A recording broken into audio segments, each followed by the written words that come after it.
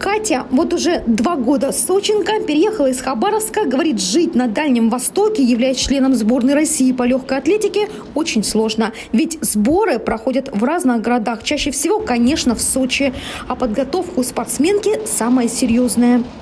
Хотелось бы попасть на Олимпиаду, которую, на которую нас не допустили. Вот. И хочется, конечно, чтобы уже появился допуск э, для легкоатлетов, для большей части сборной нашей по легкой атлетике. Вот. И готовиться к Олимпийским играм. Здесь же, на стадионе центра Югспорт, тренируется Иван Ухов, российский прыгун в высоту, олимпийский чемпион 2012 года.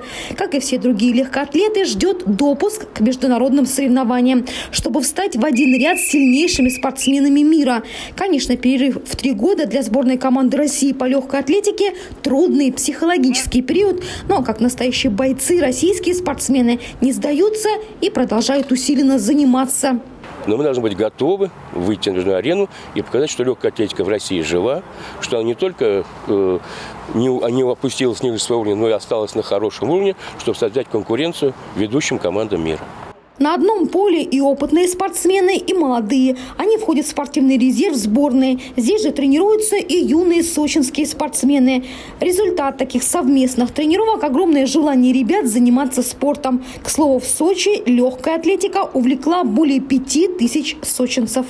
Елена Овсецина, Алексей Давыдов, телекомпания «ФКТ».